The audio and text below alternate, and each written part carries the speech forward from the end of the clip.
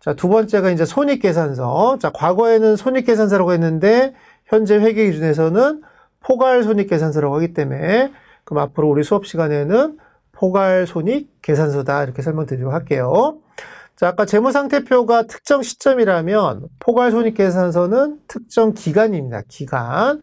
보통 회계 기간은 1월 1일부터 12월 31일이 일반적이라고 했기 때문에 그럼 주로 1월 1일부터 12월 30일 고 1년 동안, 1년 기간 동안 기업의 재무 성과 또는 경영 성과를 나타내는 보고서다. 아까 재무 상태라는 거는 특정 시점이지만 이 기간 동안의 어떤 성과를 우리는 재무 성과다 또는 경영 성과다라고 표현하시면 될 것 같아요. 자, 그럼 우리 재무 상태표의 3요소가 자산, 부채, 자본이라면 포괄 손익 계산서의 3요소가 수익, 비용, 단기순 손익이라고 합니다.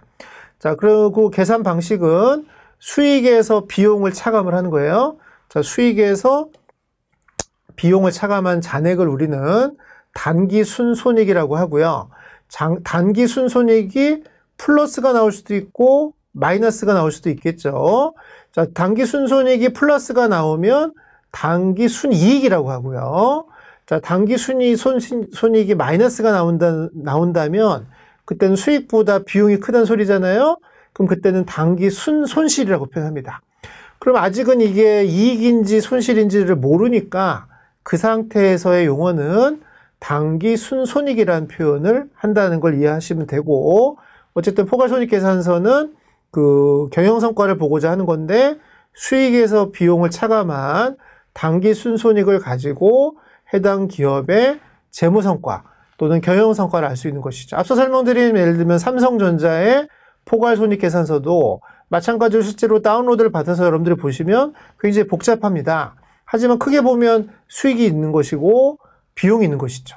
그럼 수익에서 비용을 뺀 단기 순손익을 보고 그걸 보고 그럼 삼성전자의 올해 단기 순손익은 주로 이익이 나올 테니까 단기 순이익이라고 보일 겁니다. 그럼 그 단기 순이익을 보고 그럼 여러분들이 정보 이용자라면 작년도하고도 비교해 볼 것이고요.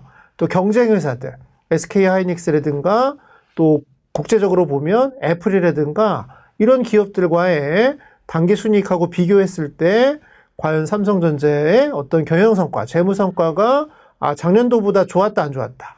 또는 경쟁 기업보다 좋았다, 안 좋았다라는 평가를 할 수가 있는 것이죠. 그게 바로 정보를 이용하는 지금 과정이라고 보시면 될 것 같습니다.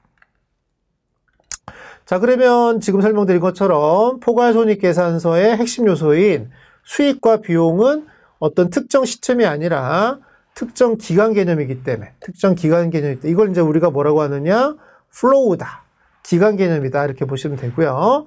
예를 들면 여러분들한테 연봉이 얼마냐고 물어보면 올해 1년 동안 벌은 그 월급 합친 거를 연봉이라고 하는 거지 그동안 배웠던 누적치를 얘기하지는 않잖아요. 그죠? 그러면 연봉과 같은 게 우리 손익계산서에서는 수익을 얘기하는 것이기 때문에 그럼 삼성전자의 올해 수익이 얼마냐고 물어본다면 올해 1월 1일부터 12월 31일까지 벌어들인 그 수익을 얘기하시면 되는 것입니다. 그래서 항상 포괄 손익계산서는 그 1년치 특정 기간에 대한 어떤 경영 성과라는 걸 이해하시면 되고요. 그럼 우리가 재무상태표에서 왼쪽과 오른쪽에 배열하듯이 포괄 손익계산서도 왼쪽과 오른쪽에 배열하는 규칙이 있을 것인데요. 자, 오른쪽에다 그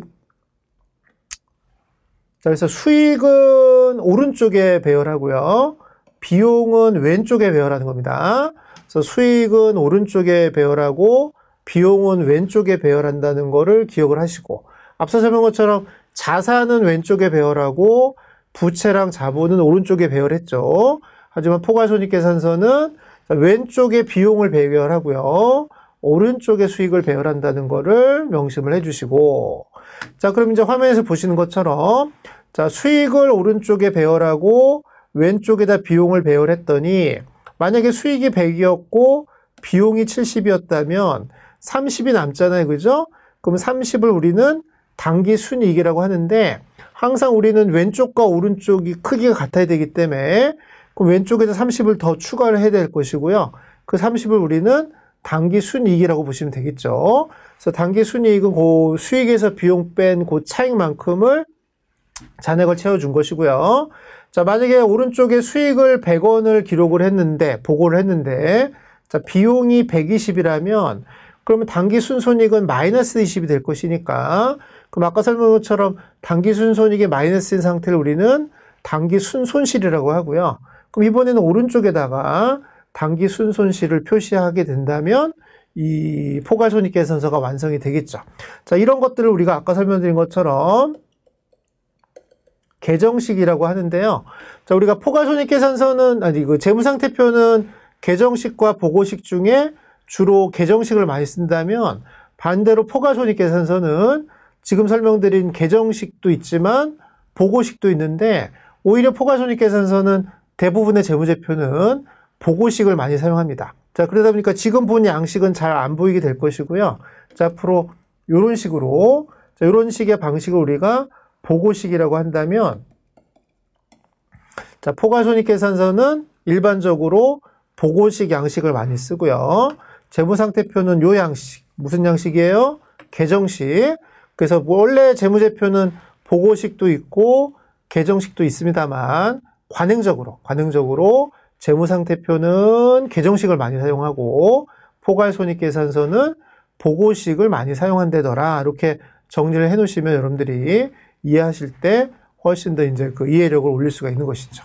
자, 그리고 실제로 여러분들이 원하는 재무, 그 기업의 재무제표를 다운로드 받아서 이렇게 살펴보시면 재무상태표는 99%요 계정식으로 되어 있고요.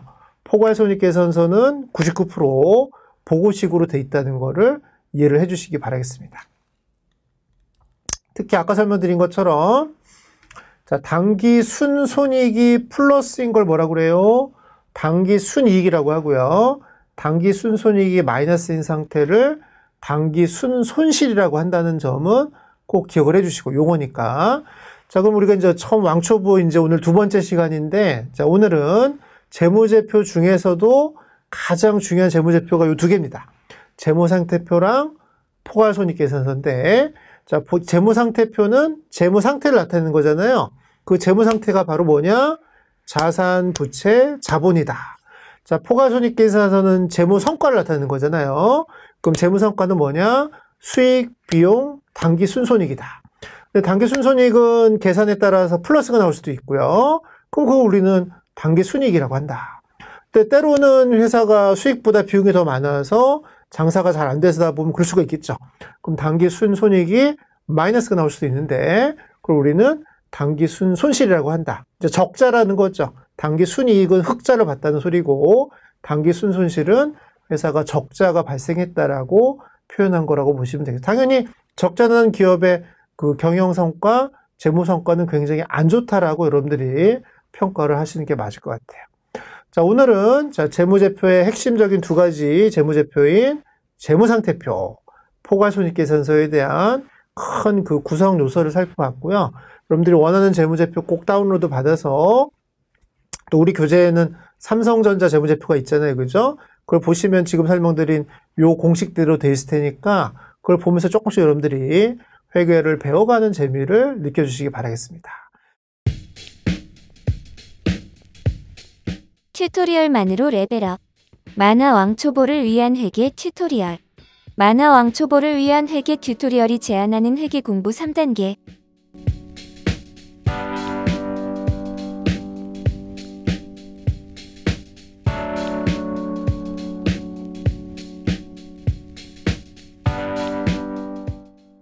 주린이도 직장인도 모두 다 회계 튜토리얼로 레벨업. 회계, 이제부터 쉽고 재미있게 공부하세요.